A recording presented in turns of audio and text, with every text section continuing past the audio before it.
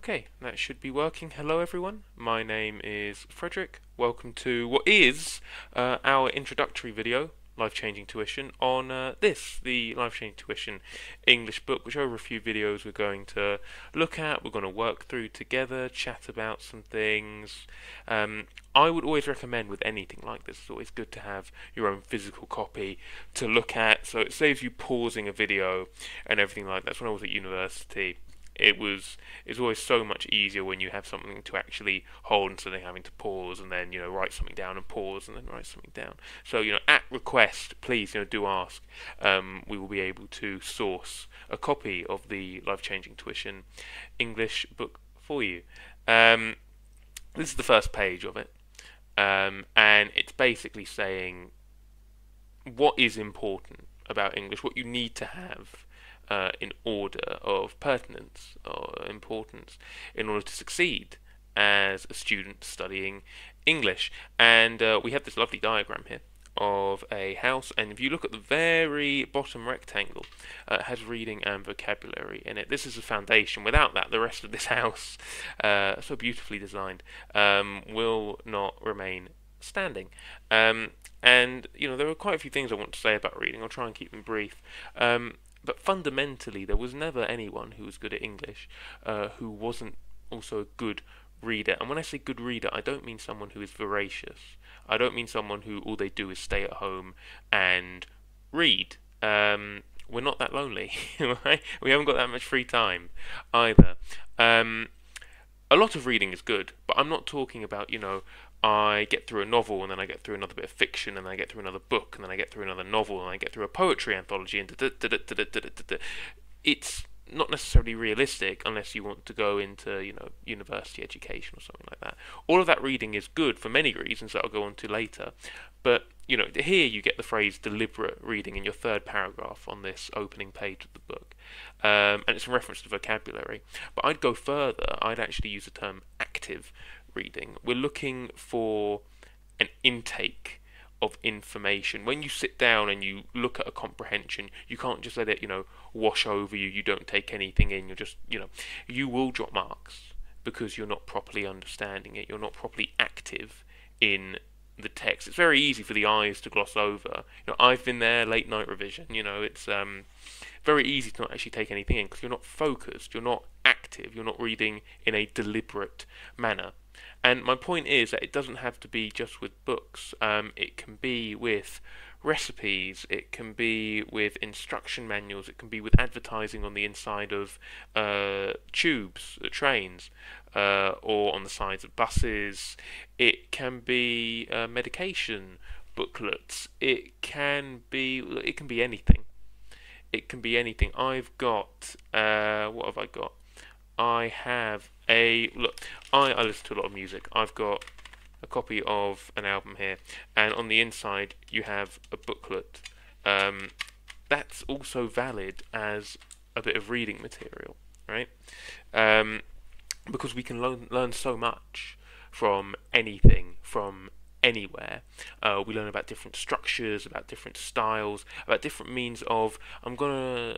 This is all new to me. Let me try and get this. Can I do? I can do a text box. I'm gonna do it right here. Can I do it right there? Okay, cool. I'll make that bigger as well. This is a word that I think is crucial um, when we are talking about English study I will get better at this the more videos we do, my apologies. Coherency. Coherency. The more you read, the more you understand about coherency. Um, especially if you're reading in different styles. Um, because you see how there are different ways to make sense. And there are different ways that people do make sense. Um, you learn about the ways, inversely, um, how to not make sense and how to avoid doing that. Have I got any other things in my notes I want to talk about on this introduction page? Um, yeah, so when we're talking about vocabulary as well, deliberate reading with vocabulary, I would advise you, if there are new words that you discover, write them down somewhere and do come back to them. You know, it's not deliberate enough, it's not active enough to hear them, write them down, and then forget about them forever because you haven't learnt anything. if anything, it feels like in the moment you're just trying to make me happy. You know, as a teacher, I see you writing it down, I think, oh, you're doing a good job. But if you're not actually going back, reading it, and learning it, you're not getting anything from that. And you know, you probably ask, well, why do I need to do that with vocabulary? You know, I, I, I speak well enough. I, I don't feel I need to know any new words. I don't want to sound, you know, overly intellectual or arrogant or anything, but it's not about that. Vocabulary is freedom. You can more adequately, more conveniently, I suppose, express your feelings, your ideas, what you are thinking in a more straightforward, clear manner. It will help you later in life when you come to an age where it's time for job interviews or when you're talking about, you know, goodness knows what, insurance or anything like that. If you can't properly communicate to people exactly what you're thinking, exactly what you want, you're not going to get exactly what you want. This is it.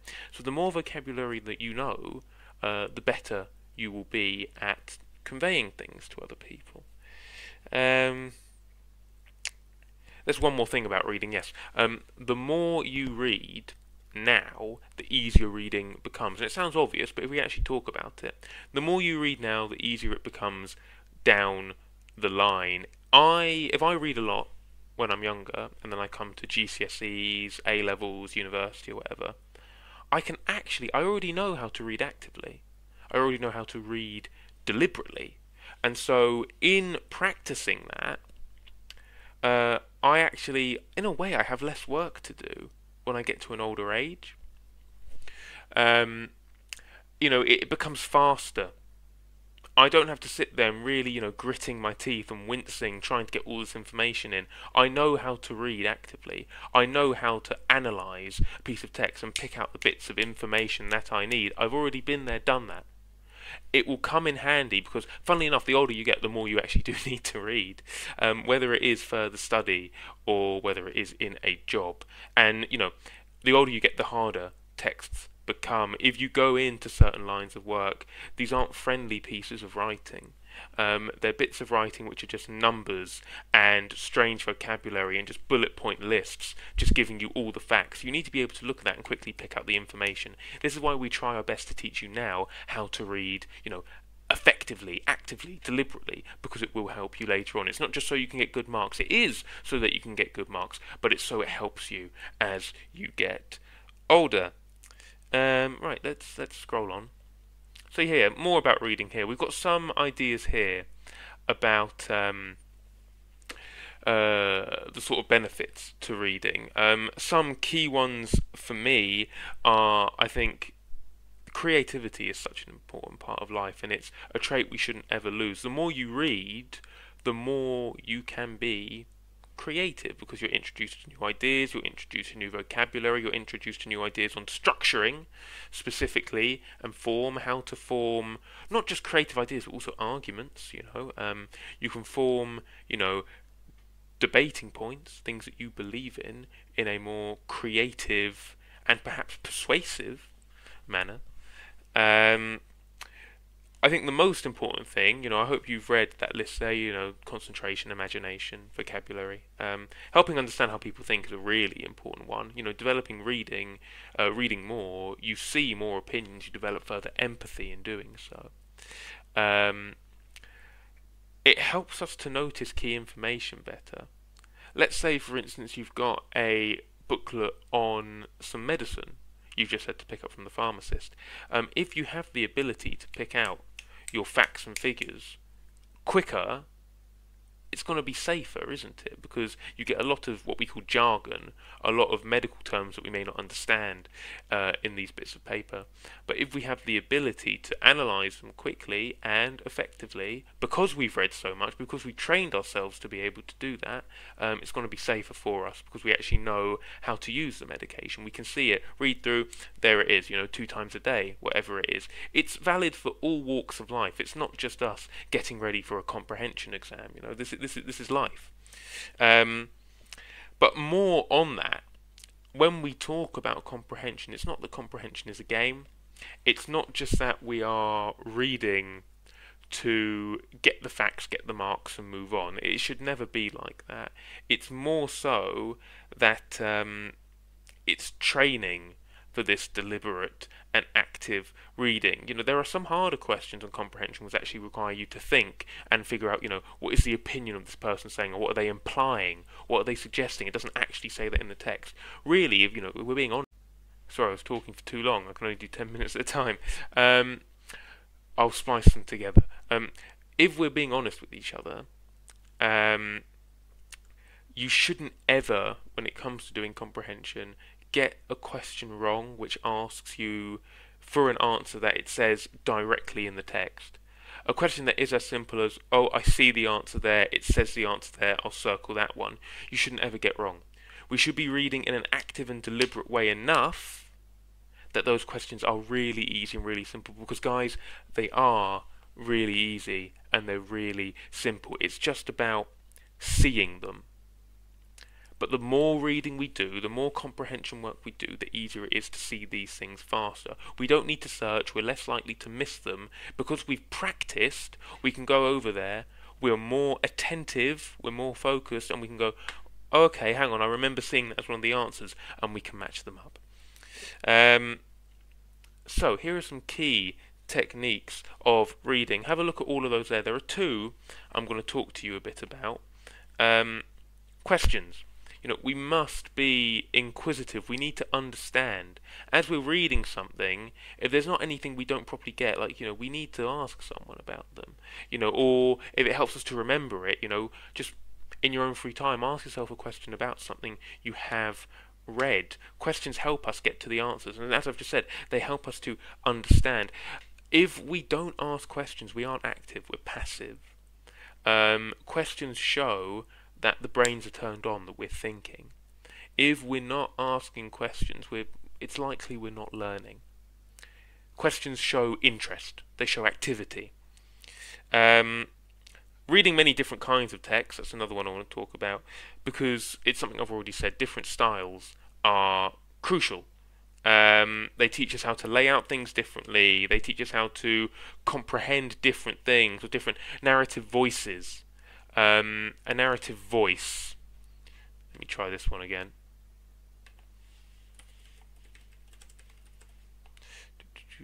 A narrative voice is how we describe uh, the person that has written the text. It's the tone of the piece of writing. We learn how to write in different narrative voices by encountering more narrative voices. We learn empathy via encountering different opinions voiced through different narrative voices. And there's one more thing um, competence.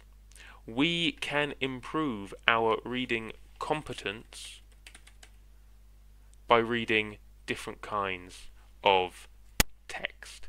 Um, the more different kinds we encounter, the more familiar we become with different kinds, the less affronted, the less surprised we are by different kinds, the more competent, the more complete a reader we become.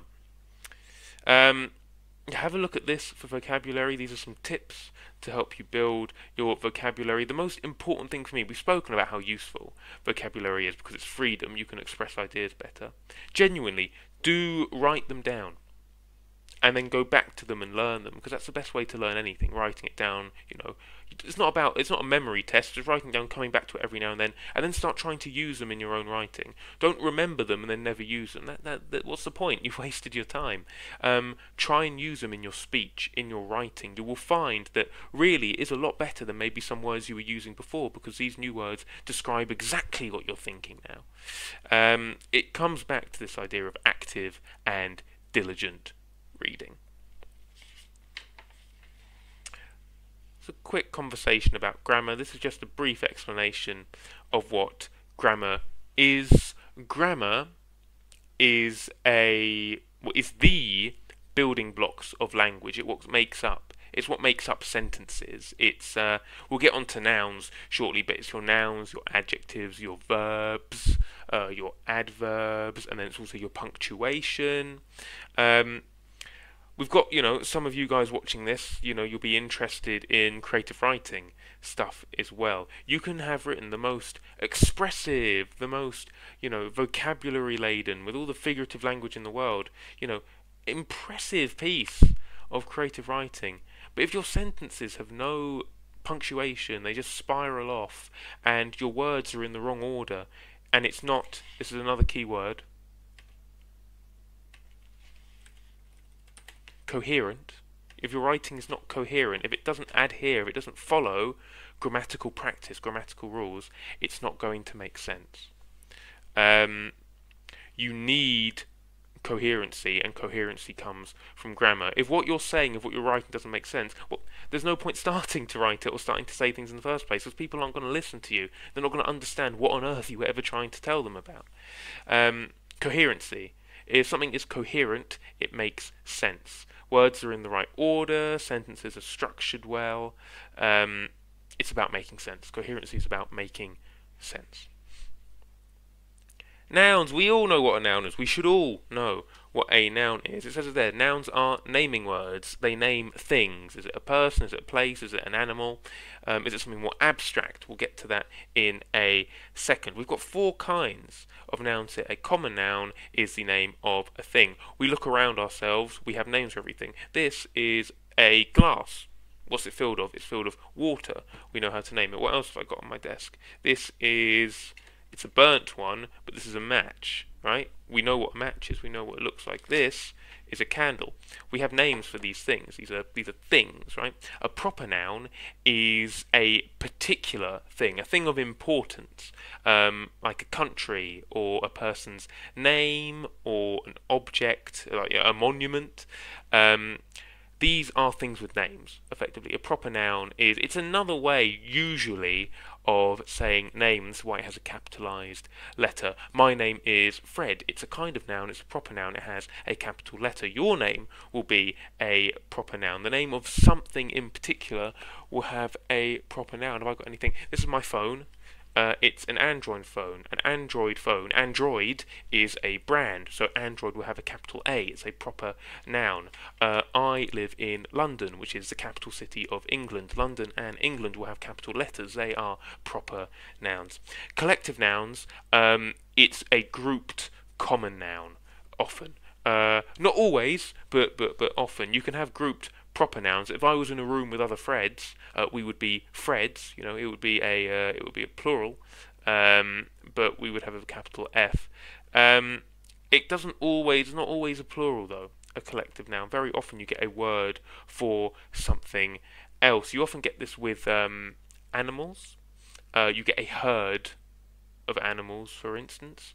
Uh, you might have a I'm just thinking of animal examples to be honest. A pride of lions. You might have heard this one. A pride, as in the feeling pride, but it's also a word for a group of lions. A more sinister one is a murder of crows. Murder is a noun for a collective noun for a group of crows. These ones don't have capital letters unless it is a group of things with the same name. Um, an abstract noun, and the word abstract means uh, something strange something a bit peculiar. And we use the word abstract here for this kind of noun um, to describe something that isn't physical. Uh, something we can't see or feel, or, well, something we can't feel physically, right? Uh, we can't see it, we can't touch it. Um, uh, the example given here is is love. We feel it inwardly, but you can't actually touch love, um, and you can't see love itself. You can't see that. Um, so it still describes a thing, but not a physical thing. Uh, for instance, pain. We know what pain feels like, but if we were to say, you know, like point to pain, it doesn't exist out there, out my window. It's something we feel, so it's another abstract noun. There are two kinds of nouns uh, not there, which um, we will just I will talk about very briefly. That also you should know because you might see these words come up. A compound noun is a noun made up of two or more words. A very good example is cat food. It all makes one thing, more than one word that comes together to make one thing. Cat food. Um, and then another one is a concrete noun. Uh, this is just something that describes a material object, a physical thing. Uh, wood or steel, or I suppose the table I'm sat at at the moment is a physical thing. I'm touching it right now. I can touch it. It's there. It's physical. It's a concrete noun. Um, let's have a look at these. I'm anxious I might be reaching another 10 minute mark. Let me pause it, we'll get right back. Let's just do this very quickly. Um, so, uh, in fact, why don't we do these and then we'll have a quick look at adjectives as well. So, nouns. Here are some questions about nouns for you. Um, let's talk about a couple of them, and then you know, please do have a go at the rest. Just scanning that. Well, what is a noun? We've just spoken about it. Um, a word that expresses an action. We haven't spoken about actions, and a describing word is another kind of word completely. You probably already know what that is. There's only one option left, so we probably know what the answer to that one is. Um, select the noun. Well, vibrant. Uh, I can't point to vibrant, and slowly. I know what slowly looks like, but again, I can't point to it. Slowly feels like uh, C in question one a describing word, I'd probably say something is done slowly, not that, uh, you know, that thing is a slowly. I can't do that. That's a very good way of discerning that, of figuring that out, actually. If I look at this, I can say this is a glass, right? A glass. Or if it starts with a vowel, I'll say an something. Um, if this was called a slowly, it would sound quite weird for me to go, look, everyone, I'm holding a slowly that doesn't sound right. So we know that that can't be a noun because grammatically, grammatically, the way that words work, um, that doesn't make sense. So abstract nouns, you got questions on abstract nouns there. Remember, we spoke about um, uh, abstract nouns being things that aren't physical. You can't touch them and you can't see them necessarily. Um, in the options there, you only have two words that are actually nouns. Large is another describing word. Close knit is also a describing word. Family, I know what family looks like. I can actually go and find my family right now, and I can point to them. They exist. They're you know they're they're, they're real. They're physical. There's another noun in there which isn't. Um, I'll leave that up to you. Collective nouns. Now, I want to um, emphasize this with collective nouns. Um, when you have a plural collective noun, um, it, it, really only comes with names, uh, with with uh, your proper nouns, your capitalized nouns. They should only be the ones that have an S on the end. It's more so your groups of animals and things that have a different word for a collection. Um, so when we look at those ones, flower isn't even a collective; it's just one thing. Feathers is a it, it's more than one feather. It's a collection of feathers, um, but it's not a proper noun. So we probably wouldn't say that that's a collective noun. There's only one option left there. Um, a group of sheep might be called it. I'll leave that there. Um, how more should I do I think we should discuss here? Um, Compound noun. We spoke about compound nouns. Don't get distracted with them. It's when one, uh, pardon me. It's when two words or more make up one noun. It's uh, it's cat food. It's dog food. It's if we look at those there, I think it's quite obvious personally which one it is. Um, but remember, compound is when more than one word uh, is used to mean one thing. Um, when we get questions talking about second collective nouns or second abstract nouns, it's talking about there already being one uh, collective noun uh, that maybe then, you know, there's another in the same sentence. Um, actually, no, excuse me, I've got that wrong. It's saying that there's already an earlier one in the same uh, question section. It's just saying that there's another one to find in this question. Um, we spoke about concrete nouns. Um, it's about something being real, something being, you know, in the physical world. Um, I tell you what, if we pause the video here, you pause it, try the other questions, uh, and then play it again, and we'll go on to talk about the next section. Okay, so let's very quickly talk about adjectives. Adjectives describe nouns. Um, this is it, it's it's you should already know this. It should all be quite straightforward stuff. It is just the words that describe a thing. This glass is green and it's reflective. It's a reflective green glass. It's a reflective green wide glass. It describes attributes of it. Um, it's how we build pictures of things. Adjectives are really useful as a descriptive tool. Um, when we talk about vocabulary, very often what we're referring to about advancing your vocabulary is having a wider range of adjectives at your disposal. It's not interesting, it's not exciting, it probably doesn't do your opinion justice to say that you thought something was nice. You know, instead you want to say it was joyous, it made me feel exuberant, um, I was elated when this happened. You know, th- these are these are better, more advanced adjectives to use. We've got two kinds of adjectives spoken about here. We've got comparative adjectives that compare to nouns. Really good example there of heavy and heavier.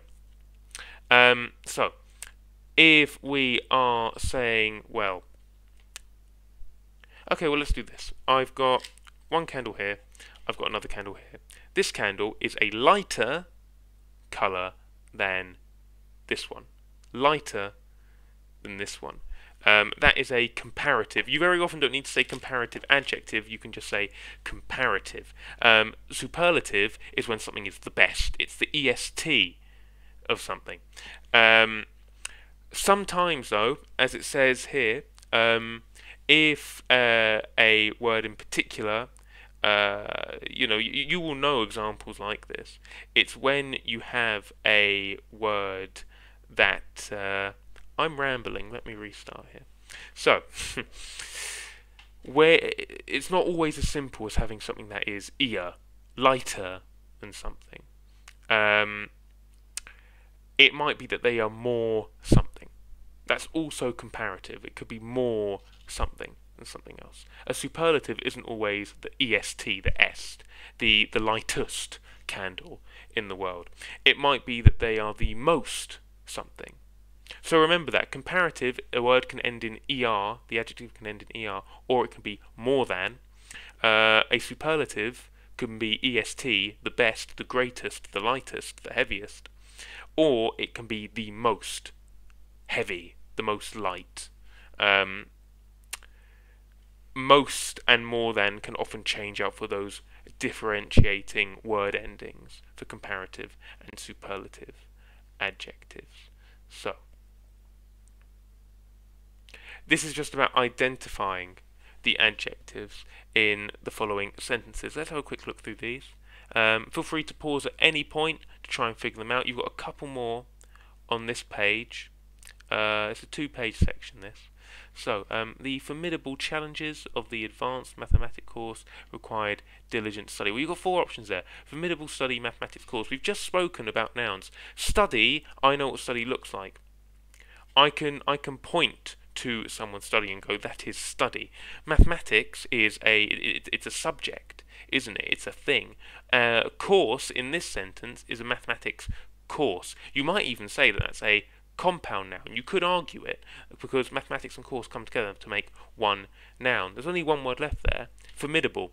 I couldn't say the hello everyone. I'm currently holding a formidable. Remember that trick?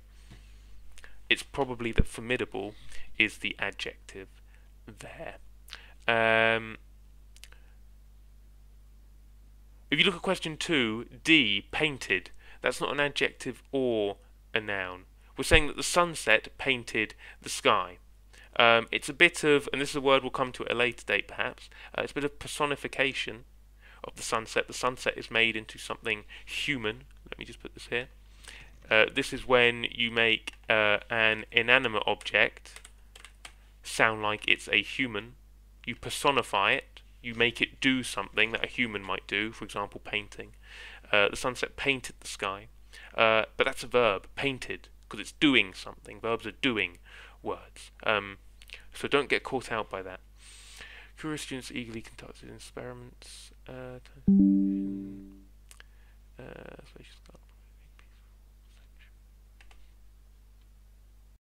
Let's just end very briefly by talking about number 14. Now, 14 has a fourth kind of word in it.